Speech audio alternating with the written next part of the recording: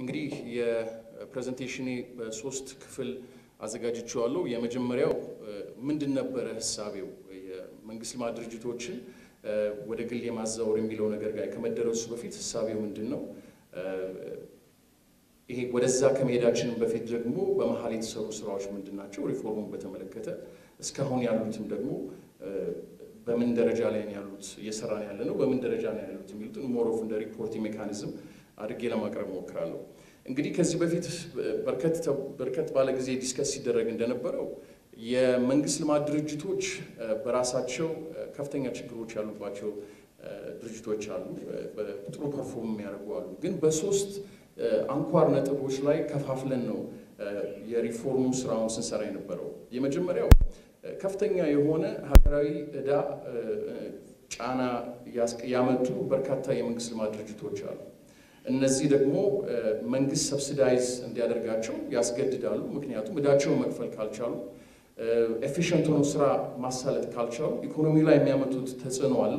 ከዛ በተጨማሪ ደግሞ መንግስትም በሌለው በጀት ዕዳቸውን service ለማድረግ service ኣቸውን እንዲሰጡ subsidize ማድረግ ያስገድዳል ማለት ነው። ስለዚህ የ fiscal burden ኑን በተመለከተ አንድ የሪፎርሙ አካል እንዲሆን፣ ሁለተኛው ደግሞ service የሚሰጡትን አገልግሎትን በተመለከተ inefficient issue አለባቸው።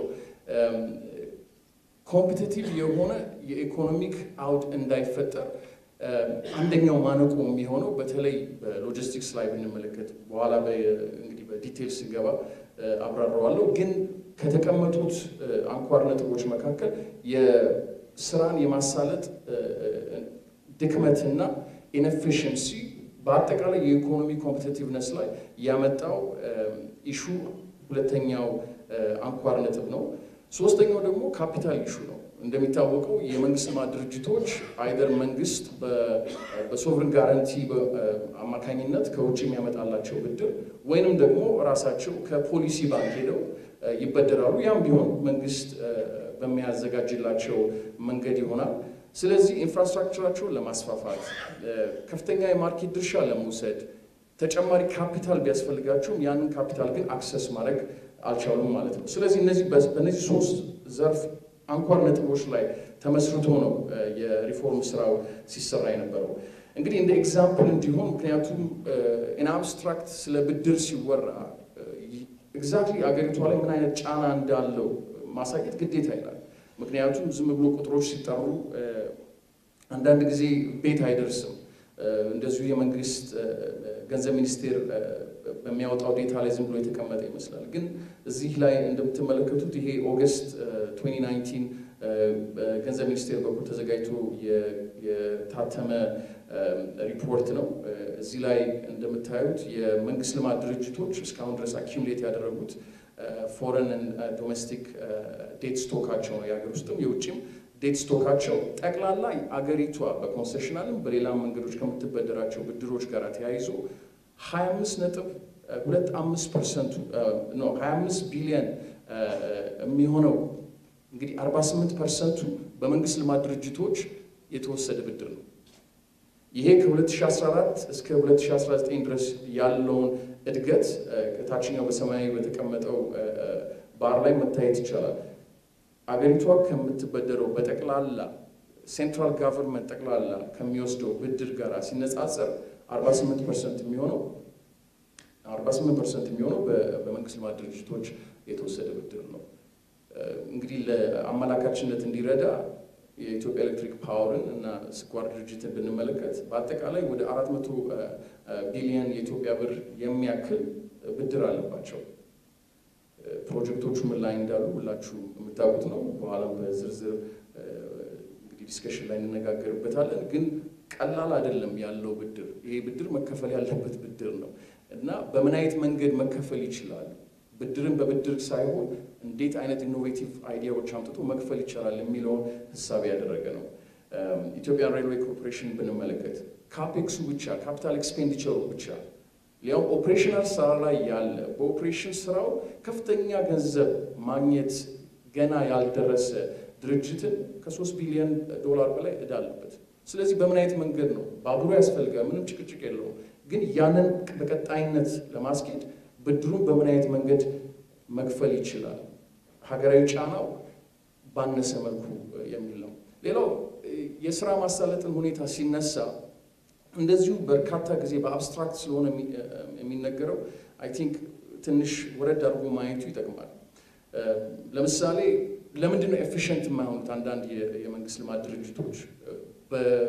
market monopoly ያላቸው መቶ ሚሊዮን በላይ ህዝብ as a consumer ሊጠቀሙ ይችላሉ። ከፈለጉም ኤክስፖርት ማድረግ ይችላሉ። እንግዲህ በ region ኡ ዙሪያችን በምንመለከትበት ጊዜ ያለው market ቀላል አይደለም። ከዛ ጋር ተያይዞ ስንመለከት subsidy ያገኛሉ ከመንግስት። classical moral hazard የ economics classical moral hazard የሚባለው fail ቢያደርጉ subsidize መደረጋቸው አይቀርም። social objective ኣቸው important ስለሆነ ዘግቶ ነገ Ethiopian Electric Power ብድሩ መክፈል አልቻለም ብሎ መብራት አይቆምም። መንግስት የግዴታ subsidize ማድረግ አለበት። ስለዚህ እንዴት አድርገን ነው align የምናደርገው efficient service delivery ያቸውን at same time ደግሞ የራሳቸውን ችለው በስነስርዓት እንደ ኮርፖሬሽን ራሳቸውን govern እያደረጉ የሚሰሩበትን ሁኔታ እንዴት ነው የሚስተካከለው የሚለው ከ efficiency point of view ከዛ ነው የተነሳው። ለምሳሌ አሁን ሎጂስቲክስ ላይ ብንመለከት አንድ ሰው LC ከፍቶ እቃውን ኮንቴነሩን ባቡር ላይ ማነው መርከብ ላይ ጭኖ ጅቡቲ sort ተደርጎለት dry port መጥቶ custom ጨርሶ warehouse ኡ ለመግባት እስከ 123 ቀን ይፈጃል። አንድ ድርጅት እንግዲህ import ላይ የተሰማራ ድርጅት ወደ ሀገር ውስጥ እቃዎችን ለማስመጣት በአመት ቢበዛ ሶስት ጊዜ ብቻ ነው የሚችለው ማለት ነው። ኢኮኖሚ ላይ ያለው ጫና ቀላል አይደለም። ይሄ ለሁሉም የሚሆን ነው። fertilizer ኡም ሲመጣ፣ ስኳሩም ሲመጣ፣ ስንዴውም ሲመጣ፣ ሌሎችም ለመንግስት infrastructure development ላይ የሚያስፈልጉ ነገሮችም ሲመጡ ይሄ ማነቆ still እንዳለ ነው። መቶ ሀያ ሶስት ቀን ነው የሚፈጀው in average compare to ከእኛ ጋር compare ያደረግናቸው አገሮች ጋር ስናየው ከ20 እስከ 43 ቀን የሚፈጅ ነገር ነው። ሌሎቹም ያው እንግዲህ ኤክስፖርታችንን በተመለከተ ሌላው በጣም መፋጠን ያለበት ማደግ ያለበት ሴክተር እንደሆነ ሁላችሁ የምታውቁት ነው። 36 ቀን ነው የሚፈጀው። port ም እንደዚሁ ከራሱ ጋር በተያያዘ ባለማነቆ 37 ቀን ይፈጃል። ስለዚህ በአጠቃላይ የ efficiency ብለን ስናወራ በሎጂስቲክስ በኩል እነዚህ ለእይታ እንደ example ሊቀመጡ የሚችሉ ናቸው።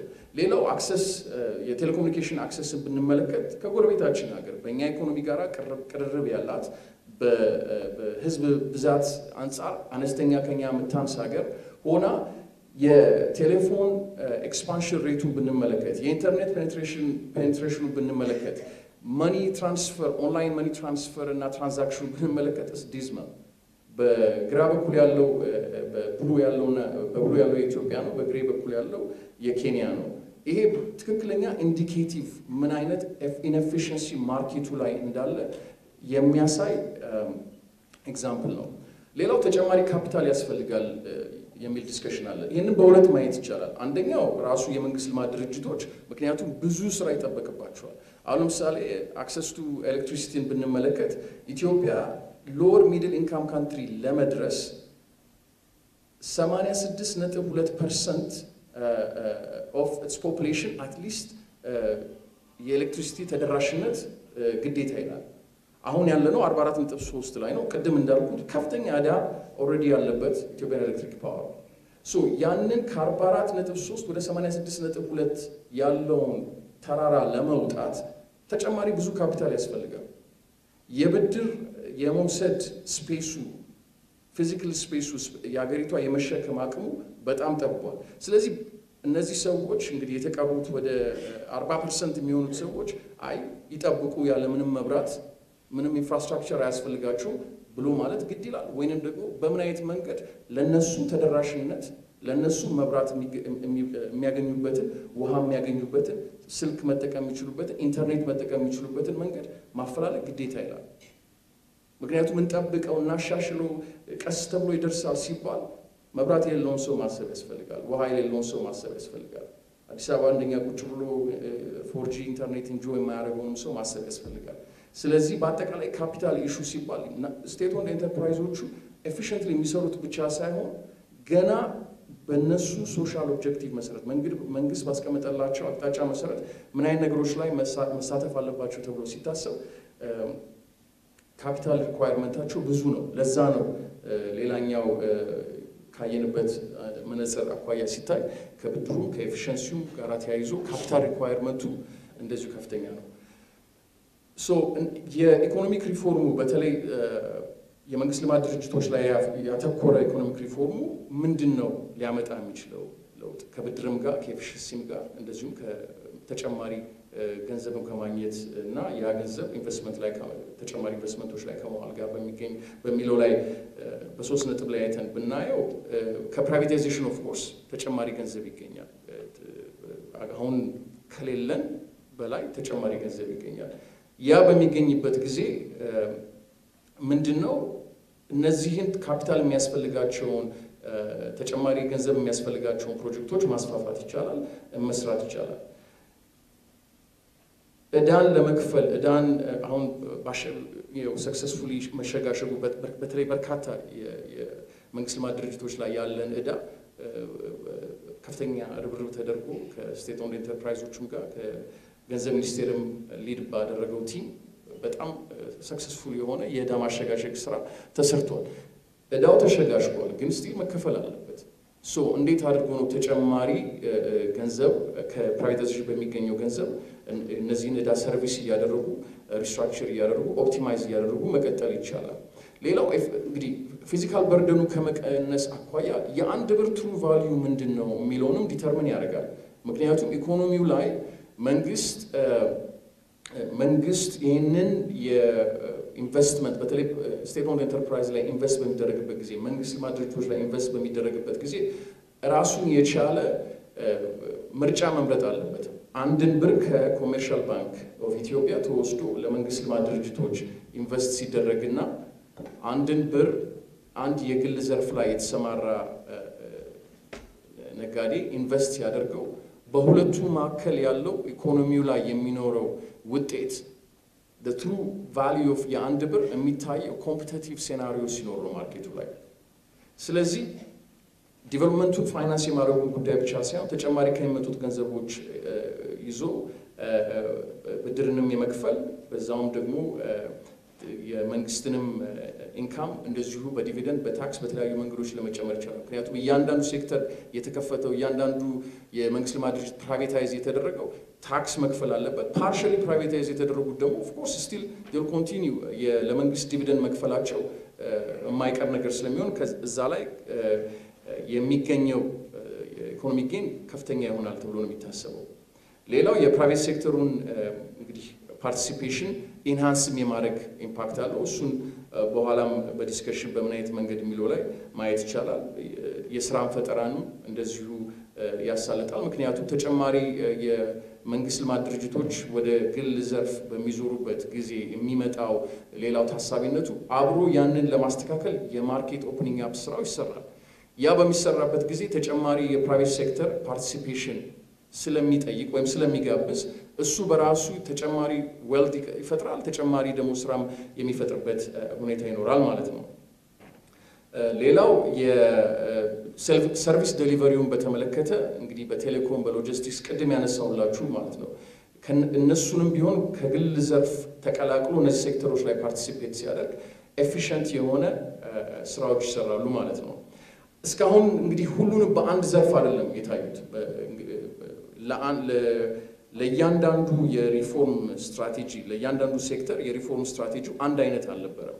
ወይም ደግሞ ሁሉም በአጠቃላይ ወደ ግል ዘርፍ ይዙሩ full privatization ነው የሚል አጀንዳ አይደለም ያለው። መጀመሪያ ሪፎርሙ ነው የተሰራው። አሁን እንዳልኩት እያንዳንዱ ሴክተር ላይ የሪፎርም ነው የተሰራው። ያ ሪፎርሙ ስራው ከተሰራ በኋላ በምን አይነት መንገድ liberalization የሚያስፈልገው ከሆነ ሴክተሩ ምክንያቱም መንግስት በ monopoly የያዘው ከሆነ liberalize የሚደረግበትን አይ partial privatization ነው የሚያስፈልገው የዚህ ይሄ መንግስት ልማት ድርጅት አብሮት የሚሰራ አጋር ነው የሚያስፈልገው። ያንን አጋር ደግሞ በምን አይነት መንገድ ይምጣ የሚለውንም ካስፈለገ እሱንም እያየ ነው ሪፎርሙ ሲሰራ የነበረው። ለምሳሌ ቴሌኮም ላይ እንግዲህ በርካታ discussion ሲደረግም የነበረው እሱ ላይ ነው እና እስካሁንም ደግሞ በጣም ጥሩ ውጤት የታየበት በተለይ ህጉን አርቅቆ ከማጽደቁ ጋር በተገናኘ ጥሩ ውጤት የታየበት ብዙ ስራ የተሰራበትም ነው። ግን sector ኡ inefficiency አለው፣ ምንም ጭቅጭቅ የለውም። inefficiency አለው። ምክንያቱም ለመቶ ሚሊዮን ህዝብ አንድ የቴሌኮም ኦፕሬተር ብቻ ነው ያለው። ተደራሽነቱ ምን ያህል ነው የሚለውን ሲጠይቅ compare ማድረግ ይቻላል ከሌሎች ሀገሮች ጋር ቅድም ያሳየኋቸው graph ላይ አይታችሁታል። ስለዚህ የኢትዮ ቴሌኮምን 100 percent privatization ሳይሆን partial privatization ነው up to 49 percent። ከዛ ውጭ ግን ሴክተሩ ላይ efficient ሆኖ እንዲቀጥል liberalization የሚያስፈልገው ስለሆነ አሁን በወጣው ሕግ መሰረት በኢትዮጵያ communication አዋጅ 1148 2011 መሰረት ራሱን የቻለ regulatory authority ፈጥሯል። ሁለት ተጨማሪ in fact ለአገር ውስጥም ለውጭ ሀገርም በቴሌኮም ሴክተር መግባት ለሚፈልጉ ፍቃድ ሰጥቷል። ነገር ግን አሁን መንግስት ባስቀመጠው direction መሰረት ተጨማሪ ሁለት ኦፕሬተሮች ደግሞ market ኡን join እንዲያደርጉ አድርጓል ማለት ነው። ስኳር ላይ እንደዚሁ እንደምታውቁት 13 የሚሆኑ የስኳር ድርጅት entity ዎች አሉ እስካሁን ድረስ እነዚህ ሶስቱ የፊንጫ ወንጂና መተሃራን ሳይጨምር የተቀሩት ጠቅላላ አዳዲሶች ናቸው እንደምታውቁት። ስለዚህ እነዚህን እያንዳንዳቸው በርካታ እዳ ያለባቸው ናቸው። የሀገር ውስጥ እዳቸው ብቻ እንኳን 75 ቢሊዮን ብር ነው። ያንን ህሳቤው የነበረው ብድሩን ተበድረው እነዚህ ፕሮጀክቶች በሁለት ዓመት በሶስት ዓመት ያልቁና ከዛ በኋላ አልቀው ኤክስፖርት ማድረግ ሲጀምሩ ለሀገር ውስጥም ገበያ ሲያደርሱ መክፈል እዳቸውን መክፈል ይችላሉ፣ ምንም ችግር አይኖርባቸውም የሚል ህሳቤ ነበር የነበረው። ያ ግን obviously እንደምታዩት እስካሁን ኩራዝ አምስት ወልቃይት ኩራዝ አንድ ገና ያልተጠናቀቁ ፕሮጀክቶች ናቸው። ኩራዝ ሁለትና ሶስት ተጠናቀዋል፣ ግን በ full capacity ስራ ላይ እየሰሩ አይደሉም ያሉት። ተንዳሆ አልቋል፣ crush ማድረግ ጀምሯል። ነገር ግን still የአገዳ መሬት ዝግጅት ጋር በተገናኘ still issue አለበት። እንዲሁ ቀሰምም አርጆ ደዴሳም ቢሆን እንደዚሁ በራሳቸው የተጠላለፈ ነገሮች አሉት። ስለዚህ ይህን ሁሉ ለማስተካከል በርካታ ገንዘብ ተጨማሪ ያስፈልጋቸዋል። መጀመሪያ የተሰራው እንዳልኩት እዳቸው እንዴት አድርጎ optimize ይደረግ፣ ከዛ በኋላ በውስጣቸው ያሉትን ችግሮች ደግሞ አንድ በአንድ ከስኳር ድርጅት ጋር አብሮ በመተባበር እየሰራን ያለ ነው። የመንግስት direction እዚህ ላይ እንደምታውቁት ሁሉንም ወደ private sector transfer የማድረግ ስራ ነው የሚሆነው። energy ላይ essential essential የሆነ public utility የሚያቀርብ ድርጅት ነው። ስለዚህ ፕሮጀክቶቹን ምንም ወደኋላ ሳይባል አሁንም ድጋፍ ተደርጎለት መንግስት በተለይ የ Renaissance Dam እንደዚሁ የህዳሴ ግድብ ላይ በርካታ ስራዎች በርካታ ድጋፍ እየተደረገለት ፕሮጀክቱ እየቀጠለ ነው።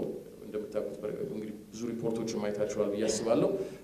ነገር ግን እዳው ያው existential threat እንዳይሆን ለድርጅቱ ለሀገርም እንዳይሆን በርካታ ስራዎች ተሰርተው optimize ተደርጓል። optimize ተደርጓል ስል ምንድን ነው?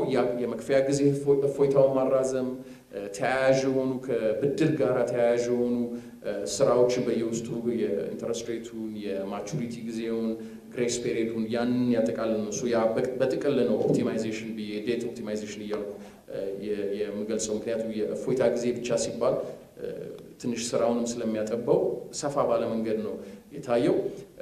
ይሄም partial privatization ነው። assessment ኡ አሁን እየተሰራ ነው። በሁለት ዘርፍ ነው ይሄን እየሰራ ነው ያለ ነው። የመጀመሪያው እንግዲህ እዳውን በምን አይነት መንገድ handle ይደረግ ነው። መከፈል ያለባቸው ይከፈላሉ፣ ግዴታ ነው። ግን ተጨማሪ ፕሮጀክቱ ሌላ ሶስት አስራ አራተኛ ስኳር ድርጅት ፋብሪካ አልሰራም ማለት ይቻላል። ነገር ግን አርባ አራት percent ሀገሪቷ electricity ገና ያላገኘ ብዙ ሰው ስላለ አልሰራም ማለት አይቻልም። ስለዚህ ፕሮጀክቶቹ እንዳሉ እንደቀጠሉ በምን አይነት other matters electrification ኡን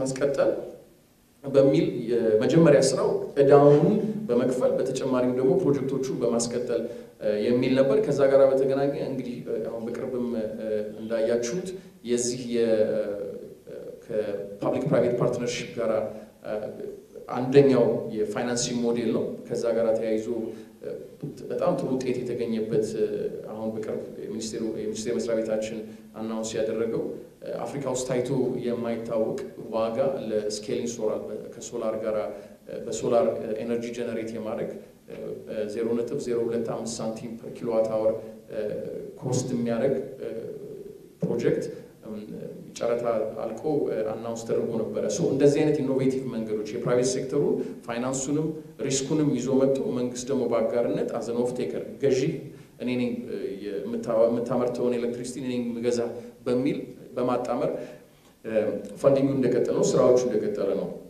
ሎጂስቲክስ ላይ በተመለከተ እንግዲህ ያው የ efficiency ስራ ስለሆነ መጀመሪያ ከ port management ከ dry port management ከጅቡቲ port ጋር ካለው ጋራ ብዙ ውጥንቅጦች የራሱ የሆነ inefficiency ዎች ጋር በተያያዘ ከዛ ደግሞ customs management ኡን በተመለከተ ይሄ multi modal የሚባለው አሁን በአሁኑ ሰዓት የኢትዮጵያ ሺፒንግ ላይንስ አብሮ የሚሰራው ድርጅቶች ጋ ነው መብቱ ያለው አንድን ኮንቴነር ለምሳሌ ከሌላ ሀገር port አንስቶ አንድ መጋዘን የዚህ ሀገር አዲስ አበባ ውስጥ ያለ ሰው መጋዘን ጋር ለማምጣት ኢትዮጵያ ሺፒንግ ላይንስ ከኤስኤልኤስኢ ጋራ በመሆን ነው የሚሰራው። ያንን እንዴት አድርጎ መክፈት ይቻላል? እሱ ሲከፈት efficiency ው እንዴት ይጨመራል የሚለውን እየታየን ያለው እንግዲህ ጨርሰናል። at least conceptually ምን መሆን እንዳለበት ከ ministry of transportation ጋራ ከኢትዮጵያ ሺፒንግ ላይንስ ጋራ እንዲሁም ሌሎች ባለድርሻ አካላት ጋራ በመሆን ስራውን እየሰራን ያለ ነው። አልቆ የውሳኔ ሀሳብ እየጠበቅን ያለ ነው። እንዴት ለውሳኔ ሀሳብ የሚለው የሚመጣው የሚለውን በኋላ እንደዚሁ ጠቀስ አድርጌ ለማሳየት እሞክራለሁ። ሌላው industrial park ነው። እሱም full privatization ነው እንግዲህ የተቀመጠልን direction ምንድን ነው በውስጡ service ኦቹን አቀላጥፎ ይዞ investor ኦች መጥተው ቀለል ብሎላቸው focus የሚያደርጉት የመጋዘን ስራ ወይም የመብራት ስራ ወይም የተለያዩ ነገሮች ስራ ሳይሆን ቶሎ ብለው ወደ ማምረት የሚገቡበት ነገር ነው የታሰበው። ይሄ ደግሞ private sector ራሱ ይዞት ቢቀጥል፣ ምክንያቱም initial cost ኡ ከፍተኛ ስለሆነ ከኦፕሬሽን የሚገኘው revenue ው እና ከኦፕሬሽን የሚገኘው revenue ው በምንም ታምር እነዚህን shed ኦች የወጣባቸውን ወጪ ለማስመለስ የሚከብድ ስለሆነ እሱም full privatization በሚል አካሄድ ጥናቶችን እየሰራን ያለ ነው። ሌላው የ railway ላይ ነው። ይሄም efficiency ጋራ በተገናኘ በርካታ ብዙ ነገሮች ያስፈልጉታል። ተጨማሪ rolling stock ያስፈልገዋል። ተጨማሪ electricity transmission line ያስፈልገዋል። station ኦች ያስፈልጉታል።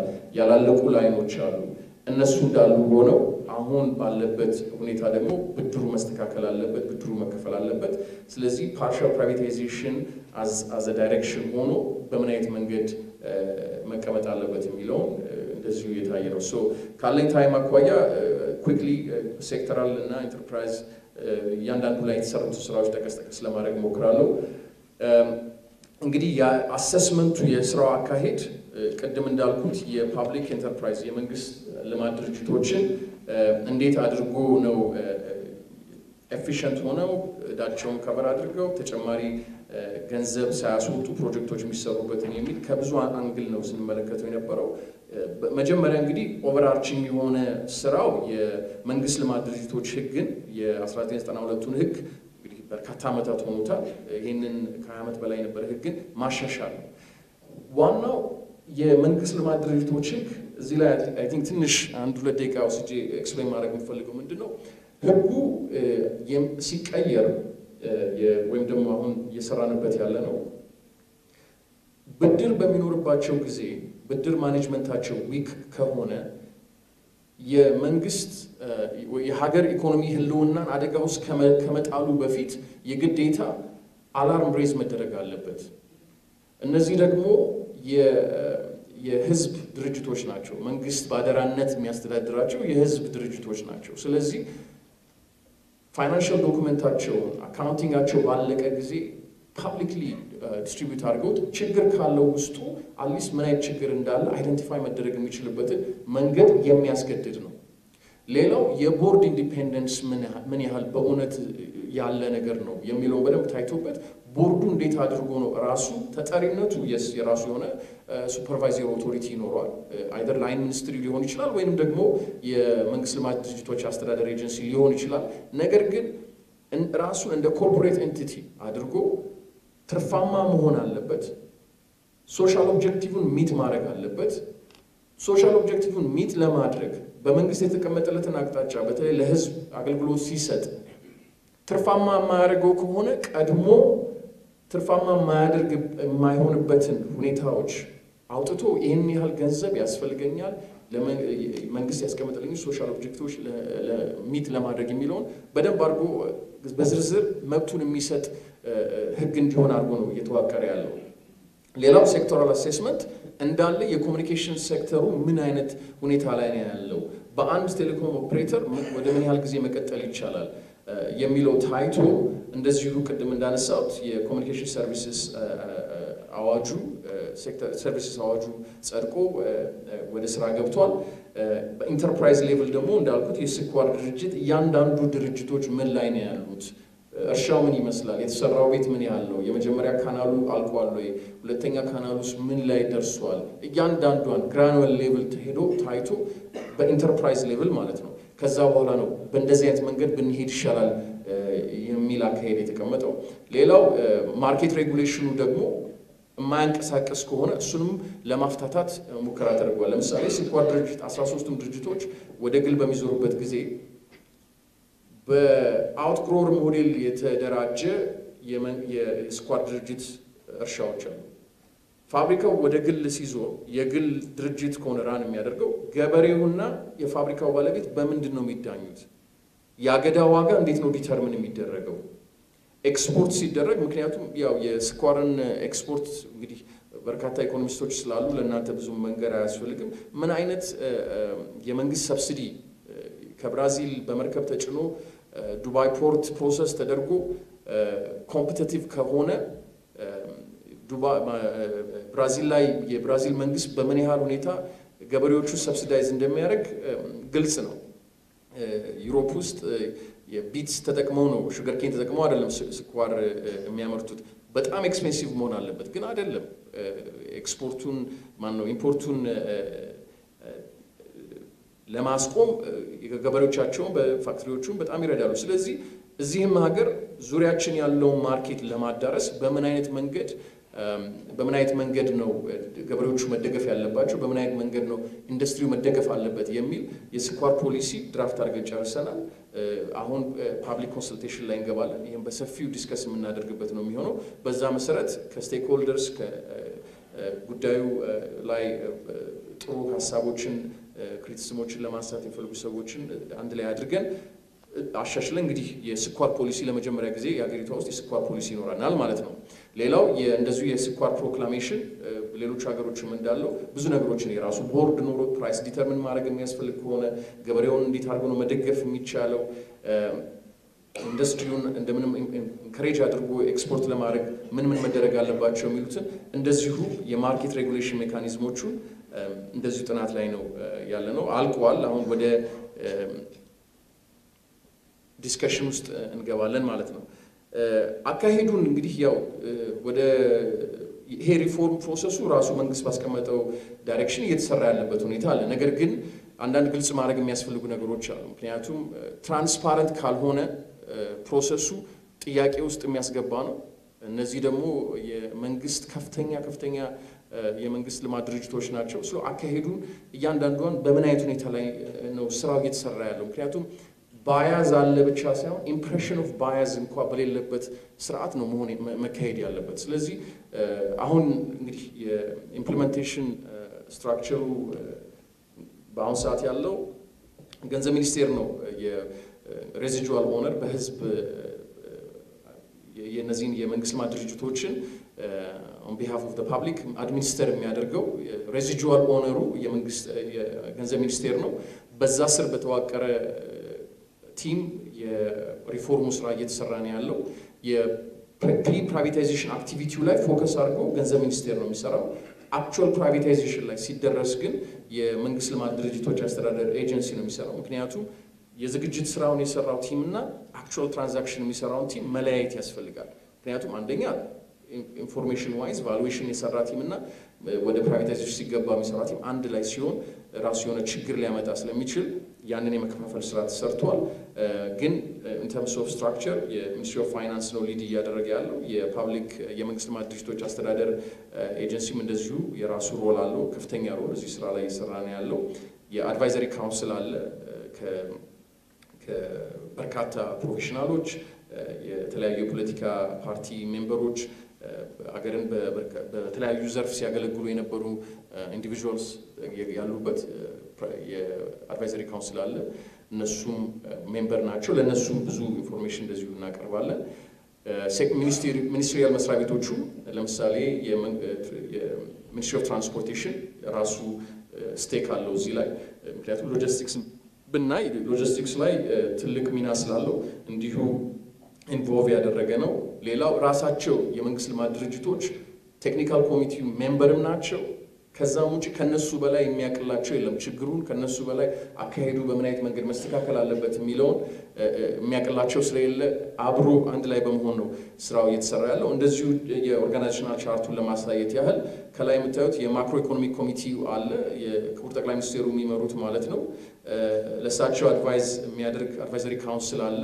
እነዚህ ስማቸው በእኔ በኩል በግራ በእናንተ በቀኝ በኩል መሰለኝ ያሉት individuals እንግዲህ member ናቸው። ከዛ ስር steering ኮሚቴው አለ በገንዘብ ሚኒስቴር ስር ያለ ይሄ በየጊዜው በ every አርብ ጠዋት ተገናኝቶ ምን ስራ እንደተሰራ በተለይ በ technical ኮሚቴው የተሰሩትን ስራዎች ምን ስራ እንደተሰራ review እያደረገ ወደ macro economic ኮሚቴው የሚያስኬድ ማለት ነው። ለምሳሌ በቴሌኮም፣ energy፣ industrial park፣ logistics ላይ ኢትዮጵያን ኤርላይንስ ሪፎርም ላይ sugar፣ እያንዳንዱ ሴክተር ላይ ራሱን የቻለ team አለው።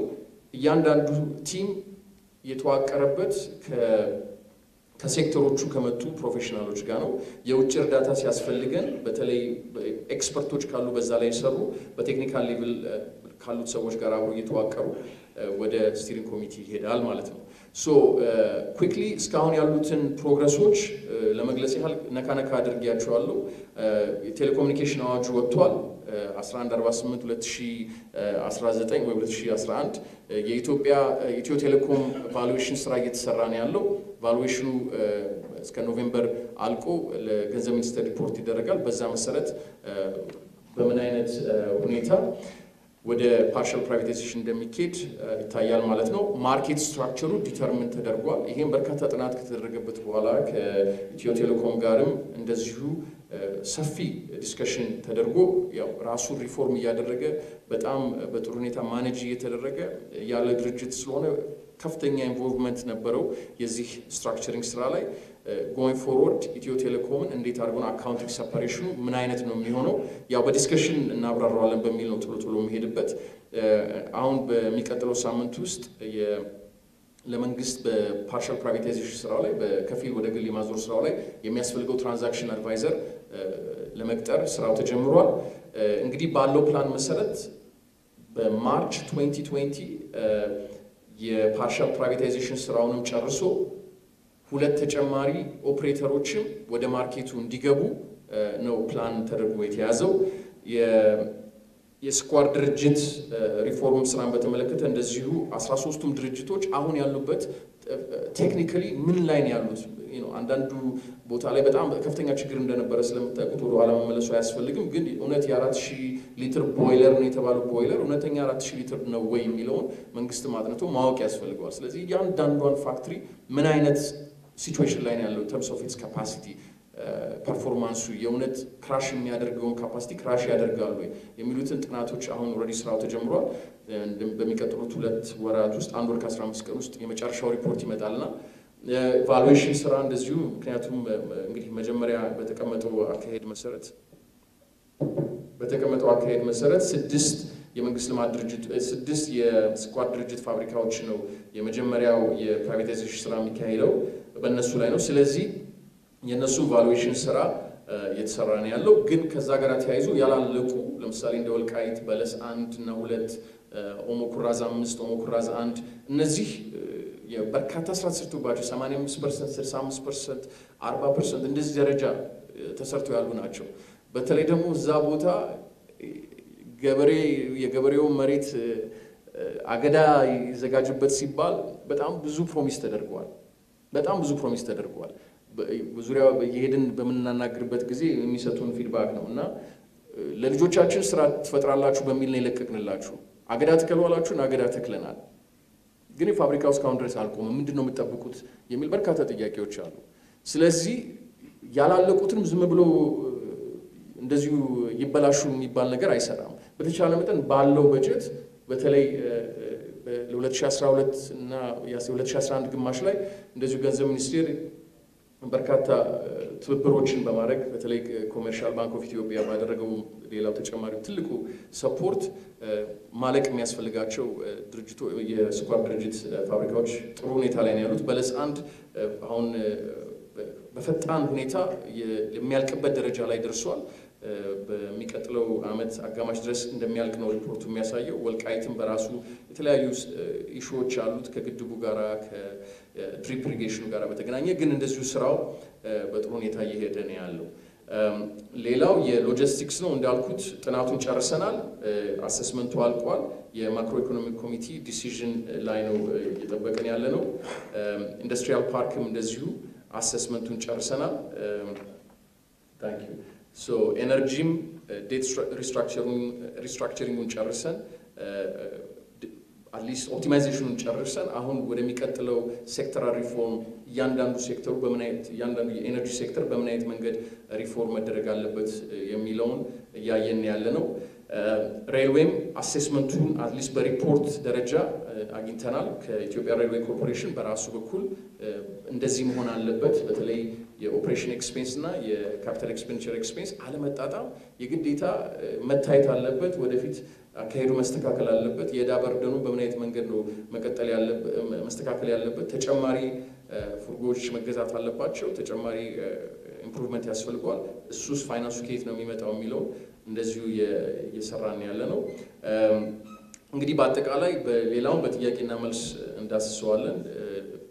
አሁን እስካሁን ድረስ ያለው performance rationale ሉና በአካሄዳችን ምን እንደነበረ ለመግለጽ ነው። አመሰግናለሁ።